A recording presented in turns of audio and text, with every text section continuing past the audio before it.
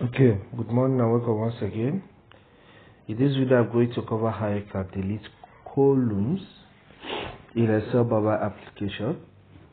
Please, if you have not subscribed to my channel, please do so so that I can still make some videos like this. If you have any video you want to cover, still leave that in the comment section, please. Thank you.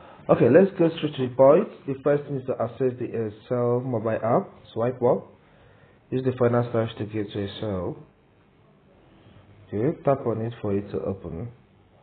Alright, this shows the list of uh, workbooks I created in recent time. But let me just explain this using a blank document. Sorry, blank, a blank workbook. So I'll tap on the plus sign. Select blank workbook. Alright, let me just make a list of these. I'll just explain my point. Double click here. Um, names these are just my okay let me say I make a mistake and skip a space here. Then uh, level.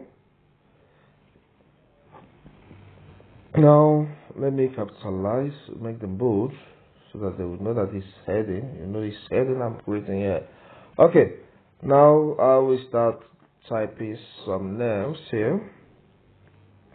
Mm, Mike Richard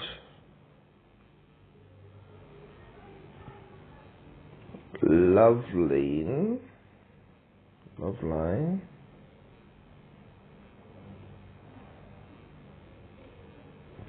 um, Grace,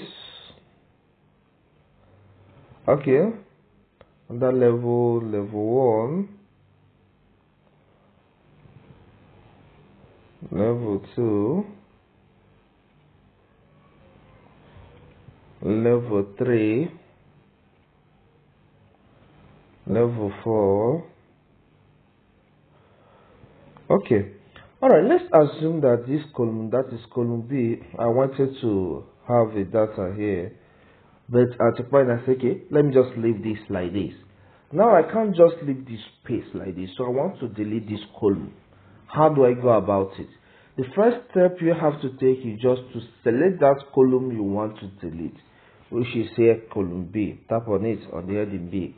Okay, it has been selected. Then tap on the ribbon display icons. Ribbon display icons, which is the um the arrow at the bottom right. So tap on it for you to see some commands. Okay. Then I'll scroll down. Then get to delete insert and delete section. So tap on that command.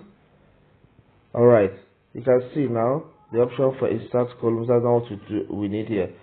Then select the one for delete columns. You can see the column has been deleted. So that's just a few simple steps you have to take to delete any column you don't want to have in your workbook using the excel mobile app. Thank you